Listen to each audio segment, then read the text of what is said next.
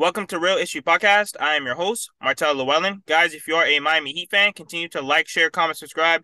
Thank you for all the support. If you're an NBA fan, subscribe to the channel, and thank you for all the support. So Bam Adebayo was talking about the whole Donovan Mitchell situation because we play the Cavs tonight, and he was saying that he didn't try to recruit Donovan Mitchell to the Miami Heat. He said in the report that the media saw that and magnified that. Bam Adebayo said to me, it was just playing with one of my best friends. So we all saw Bam Adebayo and Donovan Mitchell. They were playing in pro am leagues. They were practicing together. You know, and to me, I think for sure, you know, they were really trying to send a message to the Miami Heat and to the Utah Jazz to try and make this deal happen. Now, the rest of the report was also saying that the connection with him wasn't even trying to recruit, Bam said.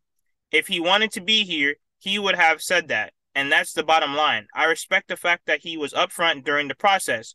I don't think that I don't think the way it happened was in his control anyway. Now, I hate it and I hate it and I hate it when people keep on saying that, oh, Pat Riley, he fumbled. He couldn't get Donovan Mitchell. Danny Ainge wanted five first round draft picks for a guy like Donovan Mitchell. At one point, he was saying eight eight first round picks.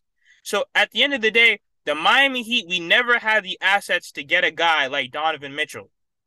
Okay, Danny Ainge, he just sold off Rudy Gobert for five first round draft picks. You know, he pretty much collected almost nine to 10 draft picks between Donovan Mitchell and Rudy Gobert.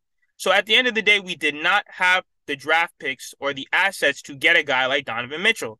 So at the end of the day, I'm actually very ashamed of Bam Adebayo and actually Donovan Mitchell because what Donovan Mitchell should have done is because he came out and said he thought he was either going to go to the Miami Heat or the New York Knicks.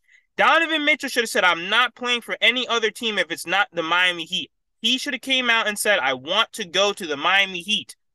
If he would have said that, now it gives the Miami Heat more leverage. Now it puts Danny Ainge in a spot to where, okay, now he has to work out a deal with Pat Riley. Everyone's saying that, oh yeah, Danny Ainge and Pat Riley, they don't like each other.